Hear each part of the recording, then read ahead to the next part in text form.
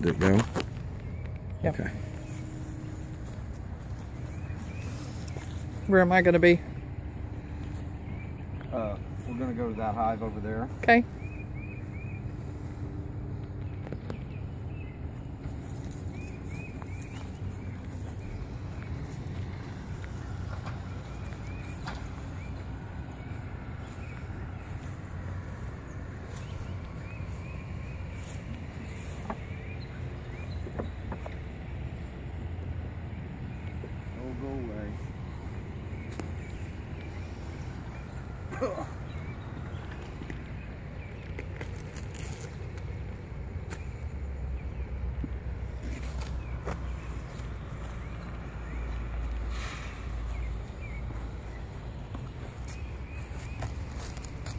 This nuc, I believe, is one of them that he said was a little weak. That's okay. That one over there is completely full.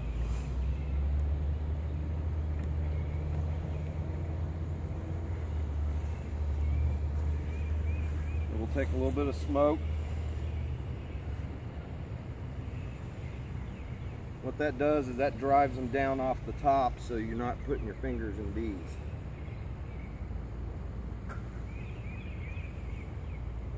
Now, if they start buzzing your face real harshly, just back up a little bit. Okay? Yes.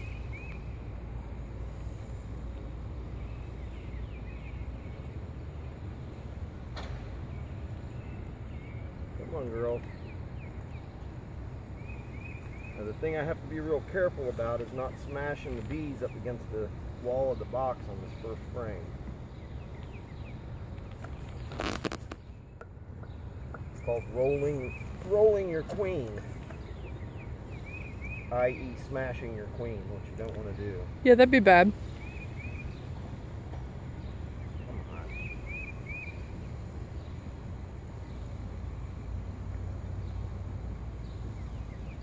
Wow. This must not be the weak one. Because that frame is completely full. Holy cow.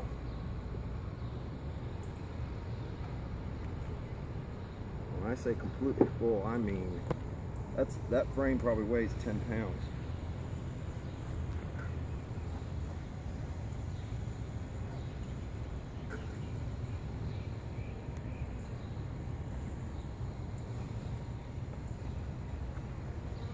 The subsequent frames come out real easy.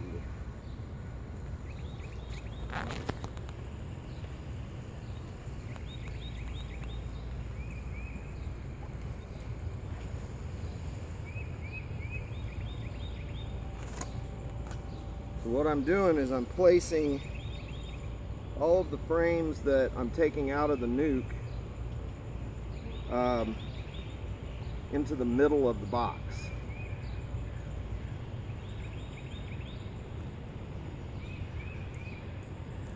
And that's because bees like to build from the inside out. So we'll stick them in the middle and they'll be much happier. Happy bees. Happy bees. We like happy bees.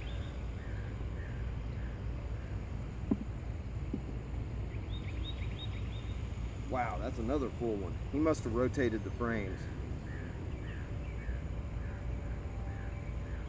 Now it's important that the way they're, the hive is facing, that you bring the frames out in the exact same order. All right, so we'll put the top cover on and then we'll go do the last one, which is gonna be the fun one. How so? Uh, it's bursting at the seams. Oh, goody. Bursting with bees. Yes. It is completely full. And in fact, when I take the, when I open it, I need to check it for uh, swarm cells. What's that? are- well, when bees get crowded, they uh, they prepare to depart by laying new queens.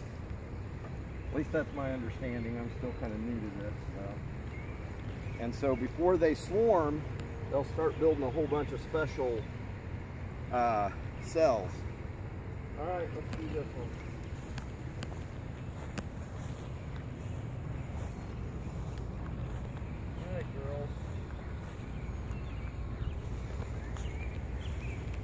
Are they girls?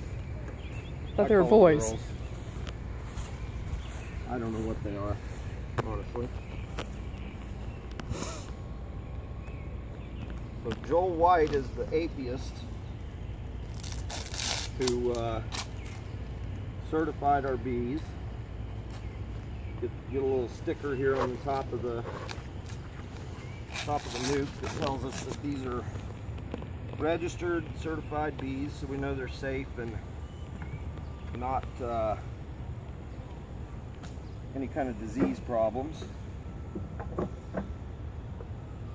And Joel is also the president of the National Beekeepers Association.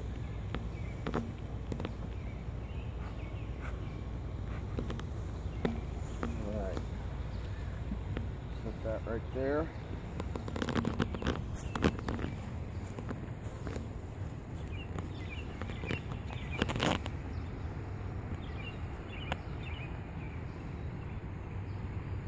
Boy, howdy.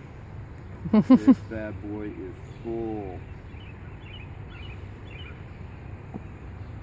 I mean, super full. Now you were saying the other day that they were close to swarming. Is that because they were outgrowing their space? Yep. And this is the box that Joel was concerned about swarming. So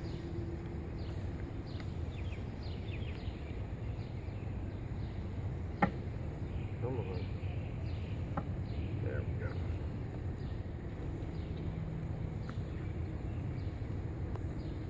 I almost did two of those. Yes, I do. Well, what I can do is I can lift, that one's broke loose. What it is, is there's this stuff inside called propolis. It's basically bee glue.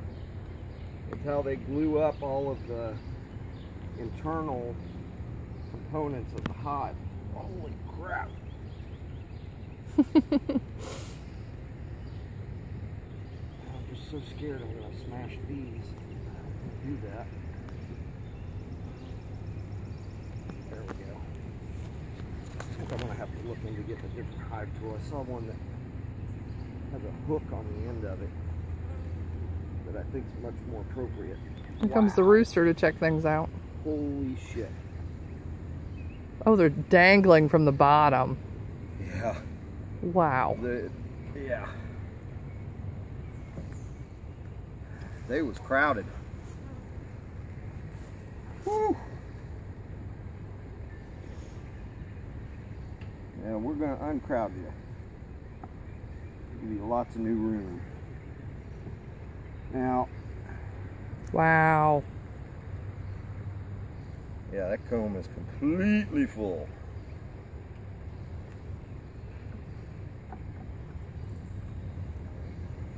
Whew.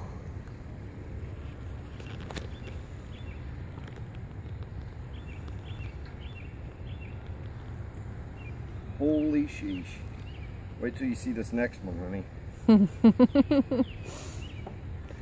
I gotta film the rooster for a second. Oh, is he coming over to check things out? you might regret that.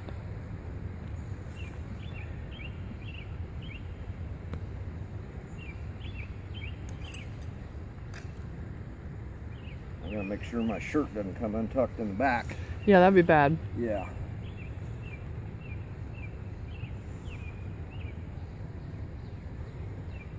Look at that one. Yeah. I would bet you our queen's on there. But I'm not going to try to search for her right now. The name of the game is getting them out in the box. How can you tell the queen from the others? Uh, different body, Uh, they're just they're very distinguishable.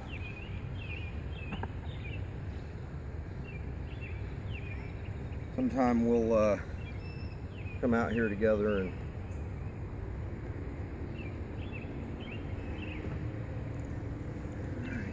Yeah, I'm not quite as crazy as you. I'm just educating our viewers. There's nothing crazy about this. this is uh, calm and fun. Well, and that's the thing. You have to. It took me a few few times with the bees to get to a point where I was comfortable. Now, So the rest of them will migrate themselves, right? They will, indeed. They say that you should knock them out, but I've heard mixed opinions on that. Why piss them off? Well, no, it's not about it. I mean, I guess it would piss them off, but more so that uh, it's just not good to agitate them if you don't have to. They'll find their way up there into the hive. Well, is that top tray for the sugar water? Yes. I imagine that will draw them. That is exactly what this is for.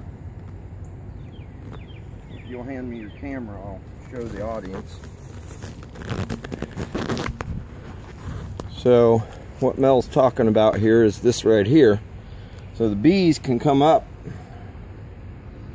through this hole and they can come down this little, I don't know what you'd call a little slide, I guess. And this thing will be filled with sugar water which we only want to use that when the nectar's not flowing. It's been pretty dry and we haven't had a lot of rain, so uh, probably go ahead and feed them. I'll come out and do that here in a minute. But that's it. We got all four of them moved. Yay. First time in my life I ever bought 16 pounds of sugar. Yeah, they'll they'll eat a little bit. I'm wondering if I shouldn't. I shouldn't uh, make this for the guys that may not be able to fly up. They can crawl. There we go. I should probably do that with the other ones too.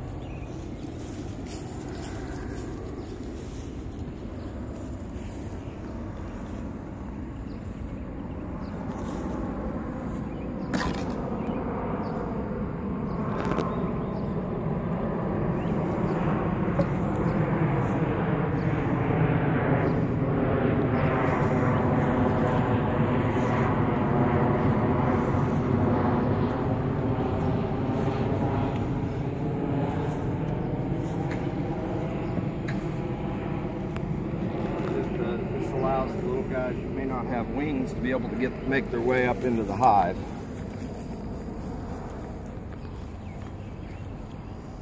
This was the weak hive that Joel had put a feeder on, and you can look, and there's not hardly any bees in here. It was a much smaller hive than uh, the other three. That's okay. It looked healthy. So we'll let these guys calm down and I'll uh, come back out tonight once they uh, go to sleep and grab the nuc boxes and